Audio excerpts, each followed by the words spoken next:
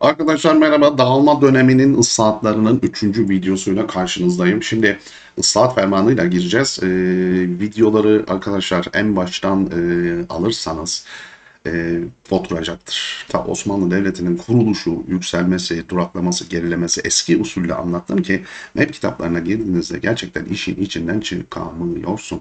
Bu nedenle böyle kategorize etme daha mantıklı.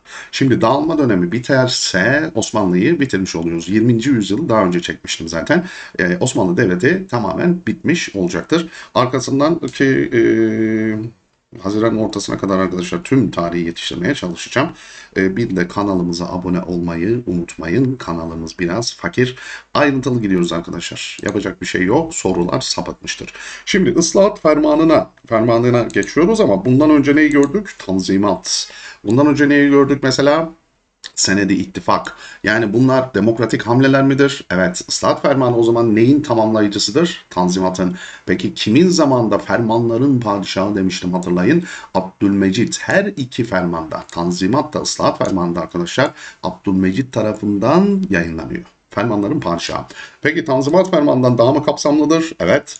Ama arkadaşlar burada bir şey olacak. Müslüman gayrimüslim dengesinin kalktığını göreceğiz. Gayrimüslimlerin hakları daha öne çıkacak. Yani ıslahat fermanlı arkadaşlar Erzurum'da, Sivas'ta bile kongrelerde bile tepki gösterilecektir. Hani orada öyle bir şey geçiyor ya azınlıklara toplumsal huzurumuzu, siyasi işte egemenliğimizi bozucu ayrıcalıklar tanınamaz gibi. Şimdi fermanın maddelerine bakalım. E, hep bunların e, gayrimüslimlere verildiğini göreceksiniz. Din ve mezhep özgürlüğü sağlanacak okul, kilise ve hastane gibi binalar tamir ve yeniden inşa edilecek. Tamam. Hristiyan ve Musevilere karşı küçük düşürücü ifadeler. Arkadaşlar kefere sürüsü diyor. yazışmalarda kafir diyor bunların e, hiçbirisi kullanılmayacak denmiş. E, insan haklarıyla ilgili bir şey. Hristiyan ve Museviler devlet memuru olabilecek. Bak buranın altını çizelim. Şimdi 1856 ıslahat fermanına kadar devlet memuru olmanın Osmanlı'da devlet memuru olmanın ana şartı neydi? Müslüman olmaktı. Şu anda gayrimüslimlere devlet yolu açılmıştır. Doğru mu? Devlet memuru olabilecekler. Arkadaşlar il genel meclislerine de girecekler. Kısaca yönetim yolu açılıyor. Bu tehlikeli işte. Doğru mu? İşkence, dayak, Ankara'ya kaldırılacak. Tanzimat fermanında da gördük bunu. Yine insan hakları ile ilgili. Vergiler herkesin gelirine göre toplanacak. Bunu nerede gördük yine? Tanzimat fermanında da gördük. Gelire göre. Bak burada sorularda şaşırıyorsunuz. Şöyle diyor. Mesela bu doğru mu? Bu demokratik hamlelerde vergiler eşit alınacak. Herkesten eşit olmaz. E, zengini var, fakiri var. Gelire göre toplanması söz konusudur. Bir de arkadaşlar iltizam usulünün kaldırılması. Bak bu iltizam usulü kabaca anlattığım diğer videolarda üstünde dura dura anlattık. İltizam neydi? İltizam usulü dediğimiz bir yerin vergi toplama hakkının satışa çıkartılması. Peki buradan vergi toplayan kişi kimdi? Mültezim. Peki bu arazilere ne ad verilirdi? Mukata. Neymiş mukata arazi? Vergi delerin peşin toplanması. Hani bir ihale açılıyordu atıyorum Osmancı'nın vergi toplama hakkını satışa çıkartıyorum diyor devlet.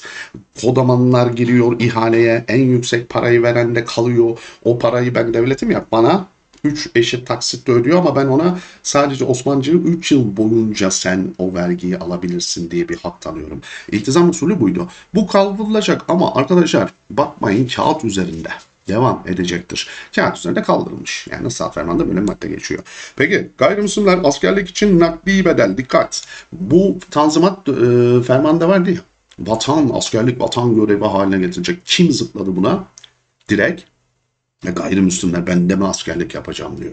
Buna nakdi bedel diyor. Bunun bir İslami karşılığı vardı hatırlayın. Bedelli askerliğe tam karşılık gelir aslında cizye. Askerlik yapmamaları koşuluyla alınıyordu. E, şartıyla alınıyordu. Hristiyanların il meclisine üye olmaları kabul edildi. Bu madde şunla aynı gibi mi? Yani devlet memuru olabilmesi kısaca yani aynı yere götürür beni neye? Yönetim yoluna götürür. Peki yapılacak anlaşmalarda yabancı uyruklar vergilerini ödemek şartıyla mal mülk sahibi olacaktır. Tamam. Arkadaşlar zaten zenginler. Ticaretle uğraşıyor. Senin Müslüman halk tarımla uğraşıyor. E para var. Huzur var.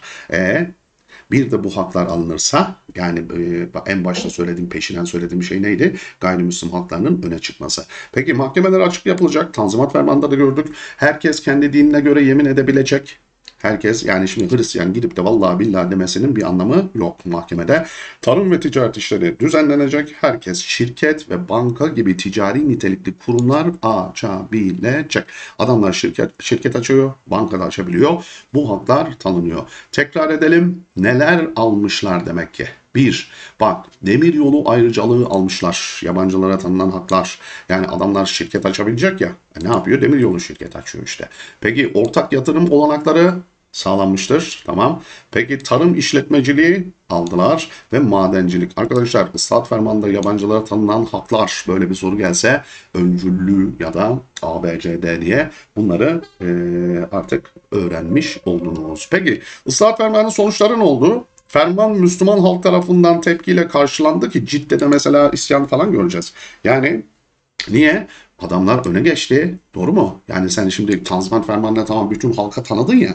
Şimdi Saat Fermanı'nda sadece gayrimüslim yani gayrimüslim haklarını ön plana çıkarttı. Peki ülkede milliyetçilik isyanlarını önleyebildi mi? Yok. Gayrimüslimlerin ayrı, e, ayrılıkları, e, hareketleri devam etti mi, güçlendi mi? Evet. E sen şimdi hakları verdin. Bu haklarla daha da ne yapacaklar? İleri gidecekler. Peki yabancı ülkelerin Osmanlı ülkesindeki etkinliği artıyor mu? Ve yabancı sermayenin ülkeye girişi daha da kolaylaştı. Arkadaşlar artık yabancı sermayenin mi? Ki e, adamlar sanayi devrimini yaptılar. Hani bir anlaşmadan bahsetmiştim 1838'de Balta Limanı Sözleşmesi. Ülkenin yabancı mallarla dolmasını sağlayan değil mi? Osmanlı ülkesinin bir neydi? Anlaşmaydı. Peki devletin yapısı daha da demokratik hale gelmiş midir? E, olumsuz olumlu sonucu da budur tabii ki. Tanzimat fermanı da ıslahat fermanı da arkadaşlar demokratik hamlelerdir unutma. Bu bizi nereye götürecek? Bu yüzyılın sonunda birinci meşrutiyete rejim değişecek orada. Bak Tanzimat'la ıslahat arasındaki e, tamam farkı söyledik ama Tanzimat ıslahatla birinci meşrutiyet arasındaki de fark nedir? Bak birisinde halka hükümdarın yetkiler şey halklar tanıması, birinde rejimin değişmesi, halkın yönetime resmen katılması. Şimdi Islahat fermanla ilgili notlara bakalım arkadaşlar. Ferman tanzimat ferman devamı mıydı? Evet. Ancak fermanla amaçlanan Müslüman gayrimüslim eşitliği sağlanabildi mi? Hayır. Çünkü daha fazla hak verildi kime? Gayrimüslime. Peki ıslahat fermanı bu yönüyle e, hak bakımından Müslümanlara değil gayrimüslimlere mi hedef aldı dedik. Peki Tanzimat Fermanı tüm Osmanlı vatandaşlarını kapsıyordu ama ıslahat fermanı kimi kapsadı? Gayrimüslim haklarını. Doğru mu? Evet. Peki arkadaşlar şimdi bak senedi ittifakta dış etken yok dedim. Doğru mu? Evet. Tanzimat fermanında var. Niye? Tanzimat fermanında hatırla Kavalalı Mehmet Ali Paşa isyanı sırasında e, bizimkiler ne yaptı? Avrupa'nın desteğini almak istediler. Peki burada var mı? Dış etken var. Kırım Savaşı sırasında ilan ediliyor. Osmanlı Devleti'nin Avrupa devletlerinin desteğini alma e, olayı etkili oluyor ve 1856'da arkadaşlar Paris Anlaşması'nı imzalıyoruz ya. Paris Anlaşması'na giden süreçtir. Bu Paris Anlaşması'nda iç işlerimize karışmasını önlemek için ama önleyebildi mi? Hayır. Peki Tanzimat Fermanı Avrupa devletlerinin telkini ancak Osmanlı Devleti'nin iradesiyle ıslahat fermanı doğrudan Avrupa devletlerinin baskısıyla ilan ediliyor. Arada temel farklardan birisi de budur. Peki ıslahat fermanında ilk kez Osmanlı Devlet yönetiminde yer alabilmek için Müslüman olma şartı mı kaldırılıyor? Azınlıklara yönetim yol açılıyor. Defalarca durdum e, üstünde. En önemli zaten maddelerinden birisi buydu. Peki ıslahat fermanına ilk tepki ciddi olayları. Evet Cidde'de Müslümanlar gayrimüslimlerle eşit seviyeye gelmelerine tepki gösteriyorlar. Kentin belli bölgelerinde olay çıkartıyorlar. Gelir mi? KPSS'de belki. Peki iltizam usulünün kaldırılması ıslahat fermanıyla yeniden gündeme gelmişse de yine de başarılamadı. İltizam usulünü anlattım. Ve arkadaşlar bu usul kısa sürede olsa Türkiye Cumhuriyeti'nde bile varlığını sürdürdü. Peki 17 Şubat 1925'te aşar vardı ya neydi aşar vergisi? Diğer adıyla öşür vergisi. Müslümanlardan ürün üzerinden alınan onda bir oranında vergiydi hatırla. Tamamen bu 17 Şubat 1925'te aşarın kaldırılmasıyla iltizam kaldırılacak. Peki saat fermanında gayrimüslimlerin kendi işlerini görebilmesi için gayrimüslimler içindeki her cemaatin bir kurul seçmesine de karar veriliyor. Doğru mu? Ne dedik? Toparlarsak gayrimüslim hakları en ön plana geçmiştir. Şimdi arkadaşlar Abdülaziz dönemine geçiyoruz. 1861 ile 1876 ne hatırlatıyor 1876 size? Birinci meşrutiyetin ilanı. Abdülaziz yönetim ve hukuk alanında ıslahatlara başlıyor. 1864'te arkadaşlar vilayet nizamnamesi hazırlanıyor. Dikkat! Eyaletler vilayet adını alıyor. Bu nizamnameye göre de vilayet, sancak, liva, kaza ve köyler oluşturuluyor. Çok çok önemlidir. Altını çiz, üstünü boya. Demek ki 1864'e göre vilayet, sancak yani diğer adıyla liva, şehir gibi düşünün bunu. Kazalar, köyler oluşturuluyor. Peki vilayetlerin başına kim getiriliyor? Vali. Livaların başına kim getiriyor? Liva kaymakamları. Kazaların başına da müdür atanıyor. Köylerin başında da arkadaşlar o köy ileri gelenleri tarafından seçilen dikkat muhtarlar. Bakın Cumhuriyet dönemine geçen pek çok kurum bu dönemde Abdülaziz döneminde ne yapılmıştır? Temelleri atılmıştır. Peki 1864 nizamnamesiyle vilayet idare meclisleri oluşturuluyor, Liva idare meclisleri oluşturuluyor ve ihtiyar heyetleri kuruluyor. Bak bir yere doğru gidiyor Osmanlı. Hepsi birbirinin aslında tamamlayıcısı. Halkın yönetime katılması süreci doğru mu? Bak bu meclisler de kim e, var? Halk var. Halk temsil ediliyor. Böylece merkezden taşraya kadar uzanan idari bir yapılanma oluşturuluyor ve her halkın yönetime en azından danışman olarak katılmasının önü açılıyor. 1876'ya giden meşrutiyet sürecinden bahsediyoruz. 1871 nizamnamesi hazırlanıyor arkadaşlar. Bakın hep Abdülaziz'in yaptığı işler bunlar ve taşra teşkilatı yeniden düzenleniyor. Buna göre vilayetlerde vali, defterdar, defter nazırı, katipler, vilayet meclisi, livalarda mutasarrıf, bak kaymakam, mal müdürü, nüfus müdürü, katipler, liva meclisi, nahiyelerde nahiye müdürü, köylerde ihtiyar heyeti, görev almaya başlıyor. Yani Osmanlı Devleti'nin taşra teşkilatında nahiye birimine de dikkat edin. İlk kez 1871 nizamnamesiyle oluşturuluyor. Bu öyle çok AYT sorusu mu? Değil. KPSS'de arkadaşlar KPSS'de kesinlikle karşımıza böyle incik bıncık sorular çıkacaktır. Nahiye birimi aşağıdakilerden hangisiyle düzenlenmiştir? Ya da şöyle düşünün vilayet nizamnamelerinin e, yayınlanması hangi padişah döneminde olmuştur?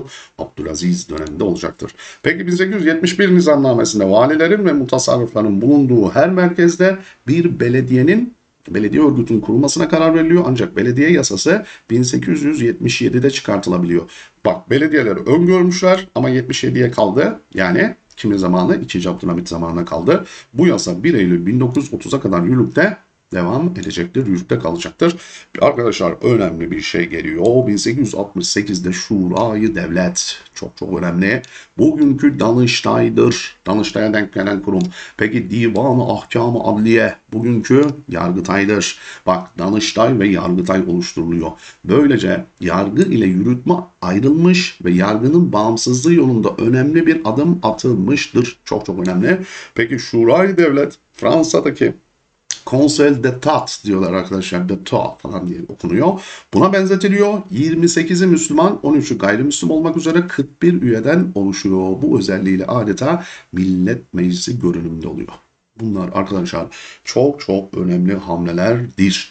Bak e, modernleşme. Doğru mu? Bunlar batılılaşma, modernleşme, şurayı devlete ve divan ahkamı adliyeye çok dikkat edin. Yargıtayın ve Danıştay'ın oluştuğu dönem bu kurumların oluştuğu dönem Abdülaziz dönemidir. 1869'da başına kadı atanıp Müslüman ve gayrimüslim üyelerden oluşan nizamiye mahkemeleri kuruluyor arkadaşlar. Bakın zaten örfi, şerri mahkemeler var. Bir de nizamiye mahkemeleri, konsolosluk mahkemeleri Osmanlı'da hukuk birliği ayvayı yemiştir. 19. yüzyılda neredeyse herkes birbirine ayrı bir şekilde yargılıyor. Gel ben seni yargılayayım. Hangi mahkemede? Şurada. Hukuk birliği yok. Bu mahkemeler Müslüman ve gayrimüslimlerin hukuk, ve cinayet ile ticaret mahkemelerinin yetkisi dışında kalan davalara bakmaya başlamış. Çok önemli değil. Peki şimdi önemli bir şey geliyor. Ahmet Cevdet Baş, e, Paşa. Mecelle Arkadaşlar ilk medeni hukuk kanun diye sorarsa Osmanlı'nın mecelledir. Bu hazırlanıyor, maddeler halinde hazırlanıyor ve mecelle 13. yüzyılın İslam fıkıh kuralları üzerine inşa ediliyor ve bakın 77 ile 20, 26 yıllar arasında ki 26 biz size bir şey hatırlatması lazım 1926 medeni kanuna kadar devam ediyor. Şerri mahkemelerde hukuki dayanak olarak kullanılıyor. Mecelleye çok dikkat edin. Sordular mı? Evet. Osmanlı Devleti'nin ilk medeni hukuku nedir? Mecelledir. Peki 1873'te 73'te hukuk devleti olma yolunda bir e, adım olan Ceride-i Mehakim bir gazete çıkartılıyor arkadaşlar. Bu gazete mahkemelere ait kanunları yayınlıyor ve yargı kararlarını yayınlamaya başlıyor. Şeffaflık mı? Yine karar verildi Ceride-i Mehakim'de. Doğru mu? Halka bilgi verme. Peki 1875'te Mektebi Hukuki Sultani kuruluyor. Amaç ad- adli teşkilatlarda yaşanan nitelikli eleman sıkıntısını çözmek. Ancak amacına ulaşılamıyor ve kapatılıyor arkadaşlar. Bu kurumun kapatılmasından sonra 2. Abdülhamit döneminde Mektebi Hukuk açılacak 1880'de. Bu kurumun açılmasındaki amaç da Batı hukukunu iyi bilen avukat ve hakim yetiştirmek. Hukuk mektepleri açılıyor ya. Doğru mu? Hukuk mektepleri. Bu ikinci Abdülhamit zamanında Mektebi Hukuk. Mektebi Hukuku Sultani 1875'te Abdülaziz zamanında ancak arkadaşlar bu kurumda ihtiyacı karşılayamamıştır. Peki eğitim ve kültür alanında neler yapılıyor? Darül Fünun'un temelleri atılıyor arkadaşlar. 1863'te İstanbul Üniversitesi. Evet 1863'te derslerin halka açılması şeklinde dersler veriyor. Ama işte bu yöntem tutmuyor. Okul kapatılıyor. Yeniden açılıyor. 1933'e kadar eğitimine devam ediyor. Sonra ismini İstanbul Üniversitesi olarak değiştirecekler Cumhuriyet döneminde. Peki ilk Osmanlı Sultanisi, Mektebi Sultani, bugünkü ne? Galatasaray Lisesi yine kimin zamanı? Abdülaziz döneminde açılacaktır. Öğretmen okulu açılıyor arkadaşlar ve 1868'de Hilali Ahmer Cemiyeti kuruluyor. Aynı e, yılda bugünkü meslek liselerinin temel olan İstanbul Sanayi Mektebi açılıyor. Hilali Ahmer dikkat. Doğru mu? Hilali Ahmer. Peki 1869'da Marifi Umumiye Nizamnamesi yayınlanıyor ve bugünkü anlamda öğrenim süresi 3 yıl olacak idadilerin yani lise idadi hatırla Sıbyan Mektebi neydi? Bebek mektebi, ufaklıklar. Peki ilkokulla denk gelir. Rüşdiye nereye denk gelirdi? Ortaokullara. İdadiler neye denk gelir? Liseye. Bunlara ka- açılmasına karar veriliyor. Tamam. Ancak bu okullar ekonomik zorluklar nedeniyle 1868'de açılan Galatasaray Sultanesi hariç 1873'e kadar açılamıyor. 73 kimin dönemine denk geliyor demek ki yine Abdülhamit. Ne demiştim? 1869 değil mi? 1876'ya kadar düşünün. 73 Galatasaray Sultanesi. Bu okullar yok. Ee, yanlış söyledik yine 1876 e, ikinci Abdülhamit'in başa geçişi yine Abdülaziz zamanında. Peki ikinci Abdülhamit döneminde yaygınlaşmaya başlıyor. 7 yıllık idareler şehirlerde, 5 yıllık idareler kasabalarda açılıyor. 7 yıllık idarelerin hedefi yüksek okullarda, öğrenci ve ticari alanlarda eleman yetiştirmek. 5 yıllık idarelerin hedefi bölgeye bölgeyi idare eden ve bölgenin imanını sağlayan kişiler yetiştirmek olarak belirleniyor. Peki bu nizamname ile ayrıca tüm okullar için tarih derslerinin okutulması zorunlu hale getiriliyor ve Osmanlı Devleti'nde arkadaşlar kızlar eğitim alanında yalnızca Sıbda, Sıbyan mekteplerine gidebiliyorlardı ya bu nizamnamede artık kızlar için Darül Muallimat adı verilen öğretmen okullarının da açılmasına karar veriliyor. Bakın kadın haklarıyla da kadın e, haklarıyla da ilgili neler görüyoruz? Aslında reformlar, ıslahatlar görüyoruz. Peki devletin açtığı okullardan gayrimüslim öğrencilerin de yararlanmasına karar veriliyor ve 69 nizamnamesine göre de azınlıkların okul açabilmesi kabul ediliyor. Yani eğitim ve kültür alanında da önemli gelişmeler söz konusu arkadaşlar ve Şimdi idadi neydi? Lise. İdadilerde verilen eğitimi daha üst seviyeye e, çıkartan okullar diye sorsa sultaniler. Bunların açılmasına karar veriliyor arkadaşlar. Ancak Fransız eğitim sisteminin örnek alındığı bu okullar yaygınlaştırılamıyor. Ve sultaniler yaygınlaştırılamayınca artık tüm 7 yıllık idadiler sultaniye çevriliyor ve 1913 10 ile 13 yıllar arasında tüm 7 yıllık idadiler önce sultani sonra lise adını alıyor. İdadi eşittir lise demek demekti zaten. Tekrarlarsak Sıbyan ilkokula denk geliyordu. Rüşdiye ortaokula denk geliyordu. Sultan şeyler, e, idadiler liseye, idadilerin de üst seviyesinde, daha üst seviyesinde eğitim vermesi için sultani açılıyor ama yaygınlaştırılamıyor. Sonra idadiler sultanilere çevriliyor. Peki ilk kız idadisi olan İstanbul İnas Kız Sultanesi 1913'te İstanbul'da açılıyor ve 15'te de Bezmi Alem Sultanesi'ne çevriliyor. 71'de Osmanlı Devleti'nin ilk sendikası ameleperver işçi mi? Evet, işçi sınıfı gibi düşün. Ameleperver cemiyeti kuruluyor. 1873'te Daruyu Şafaka Lisesi kuruluyor. Bu lise sultani seviyesinde eğitim vermeye başlıyor. Neydi? İdadinin daha üst e, ne diyelim aşaması. Peki Osmanlı Devleti'nde ilk posta bulu Abdülaziz döneminde basılıyor. Bu dönemde arkadaşlar genç Osmanlılar yani Jön Türk hareketi ortaya çıkıyor. Jön Türk hareketi kimdi bunlar? İkinci Mahmut'un Avrupa'ya gönderdiği öğrenciler miydi? Oradaki fikirlerle döndüler ülkelerine ve aynı şeyi yapmak istediler. Peki arkadaşlar ekonomik alanda neler göreceğiz? Bir kere ilk demir yolu hattı Yapıştır direkt Abdülaziz. Osmanlı Bankası Merkez Bankası'na dönüştürüldü. İlk demiryolu hattı bunu bir daha yazmışım buraya neyse. 1863'te açılan Osmanlı Bankası'nın temel işlevi Osmanlı devletine yeni borçlar, kaynaklar bulmak için e, kuruluyor arkadaşlar. Ve Osmanlı Devleti 1875'te borçları ödemeyi durduruyor. Ne ilan ediyor? Moratorium. Böylece Düyunu Umumiye'nin kurulmasına giden süreç başladı. Düyunu Umumiye neydi? Osmanlı Genel Borçlar İdaresi. Peki ilk atlı tramvay hatları kuruluyor. Tamam. Osmanlı Devleti'nde 19. yüzyıl yatırımları en çok nereye gitmiştir? Demir yollarına sonra da bankacılık sektörü unutma. Ve İngilizlerin arkadaşlar Abdülmecit döneminde yapına başladığı İzmir-Aydın demiryolu bitiriliyor ve kurulan emniyet ve memleket sandıkları Ziraat Bankası'nın temelini oluşturur. Bu çok klasiktir. Ziraat Bankası hmm, Cumhuriyet döneminde Atatürk döneminde oluşan bir banka değil. Temelleri nereye kadar gidiyor? Emniyet ve Memleket sandıklarına bu daha sonra 2. Abdülhamit zamanında Ziraat Bankası adını alacaktır. Peki Osmanlı tarihinde ilk yurt dışı gezisine çıkan padişah kimdir derse Abdülaziz. İlk yurt içi gezilerine çıkan kimdir derse 2. Mahmut. Ve Abdülaziz Viyana, Paris gibi Avrupa baş başkentlerini ziyaret ediyor. Yurt dışı gezisindeki amacı dış devletlerle Osmanlı demokratikleşme çalışmalarını anlatmak oluyor ve Rus tehdidine karşı e, dikkat çekmek. Çünkü bakın 19. yüzyılda paso kapıştığımız devlet Rusya oldu. Ve bir de arkadaşlar batıdan borç para bulmaktır. Çünkü moratorium ilan ettin ya 1875'te. Peki arkadaşlar son videomuzda 2. Abdülhamit dönemi olsun. O, o da biraz e, kallavi uzundur. Ayrıntılarıyla gitmeye çalışıyorum. Videoları dedim ya en baştan izleyin arkadaşlar. Oturduğunu göreceksiniz. Bakın artık öyle beylik soru bekleme. Adamlar yani sorular sapıttı. Adamlar öyle bir oncuk cincik ne varsa soruyorlar. Ee, o yüzden de e, ayrıntılı gidin. Bir de yönteminiz şu olsun. Bana e, eğer isterseniz e, pdf'leri de gönderirim. Birbirleriyle bağlantılı şekilde okursunuz. Videolar izlerseniz okursunuz. Bir altını çize çize yazarak.